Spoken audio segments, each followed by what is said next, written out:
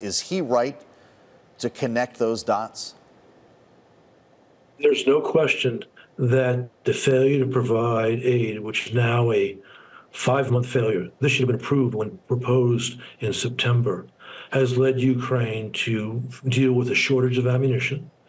And I, I think it's highly likely that if Ukraine had been armed properly, if that aid package had been approved several months ago, mm-hmm. they would have had more than enough ammunition to hold Avdiivka. Mm.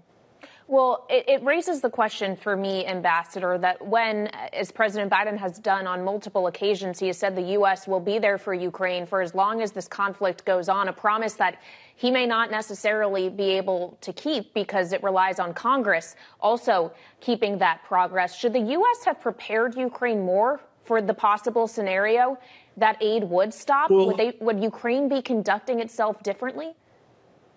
I think that there's a this is not a reason to criticize the administration. But the administration has made two very serious mistakes that have contributed to the situation.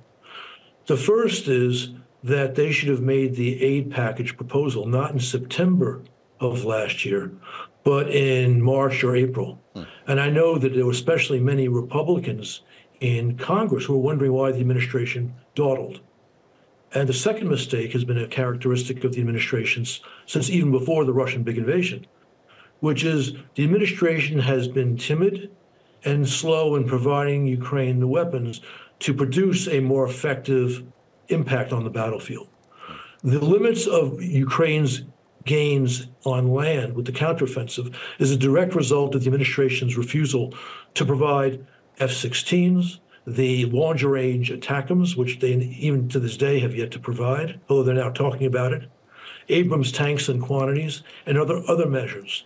And this is because the administration has been partly intimidated by Moscow's nuclear threats, which is not good politics, not good geopolitics. Ambassador, our viewers and listeners expected the fall of Avdiivka because Melinda Haring told us this would happen. The senior fellow at the Atlantic Council joined us last week and shared her concern over what was happening there. Here's what she said. The city that everyone's watching that's in ruins, that the Russians are likely to take by the end of the month, is Avdiivka. And, and that will be one more city uh, in eastern Ukraine that, where there's absolutely nothing left. Uh, but then the line will, will, will, will continue to, to uh, ebb away. Ambassador, you were just cataloging some of the mistakes that you see in your view that this administration has been made. Help us prevent the next one. What can Joe Biden do to move the needle on Ukrainian funding? Uh, this is this is a hard one, and you can't blame this on the administration. Uh, this is a problem produced by a small faction within the Republican Congress who don't understand that America has a critical interest in stopping Putin in Ukraine that Putin is our foe. He's identified us as Russia's main adversary, and they are doing everything they can to undermine American interests. And the place to make Putin pay for this is in Ukraine, because Ukraine is fighting for its existence as an independent nation. And all we need to do is arm and uh, Ukraine properly and provide them economic assistance. And the aid which we are providing Ukraine represents approximately 4% of our defense budget. And with this, the Ukrainians have been able to stop the Russians. So uh, if the Republicans who are holding this up let the aid package pass, one, there'll be no for, further defeats for Ukraine on land. And two, if then the Biden administration sends them more advanced weapons, we'll see Ukraine begin to take back more of its country and kick the Russians out, which is very much in our interests.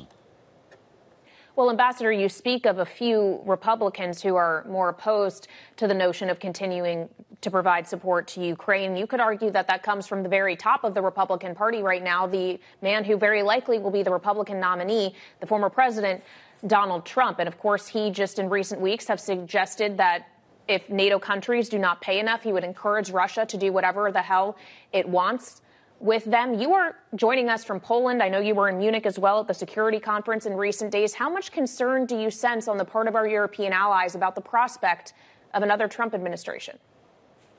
Well, it is great concern, first and foremost, about the state package, but secondly, about the possibility that if Trump wins, uh, American support for NATO may diminish substantially, and American support for Ukraine may also diminish substantially. Uh, I understand those concerns.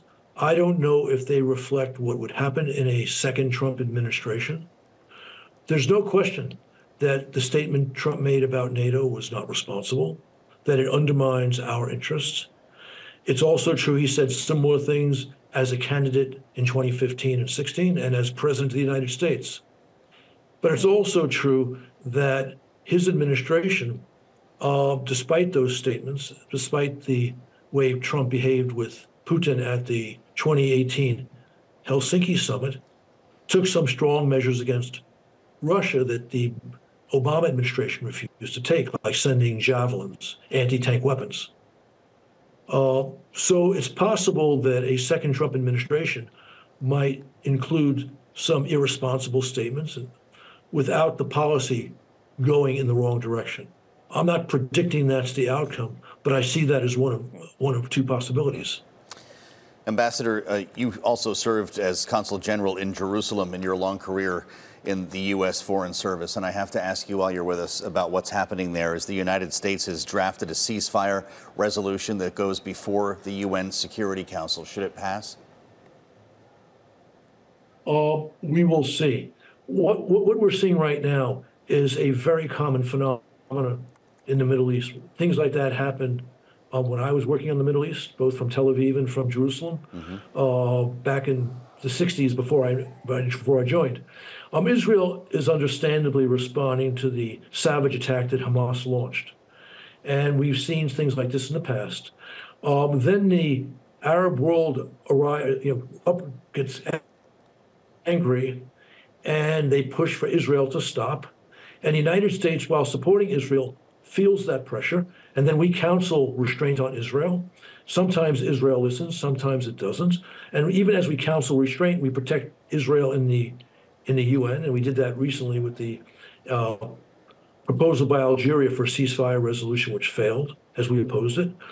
Uh, but then eventually, some sort of understanding is reached between Washington and, and Jerusalem, and uh, Israel exercises some restraint. But so the U.S. resolution is obviously something we support, something which Israel is still bridling against. Um, but if we push hard, there's a good chance that Israel will go along and that the Arabs will also go along. But this is a work in progress, and there are other possibilities.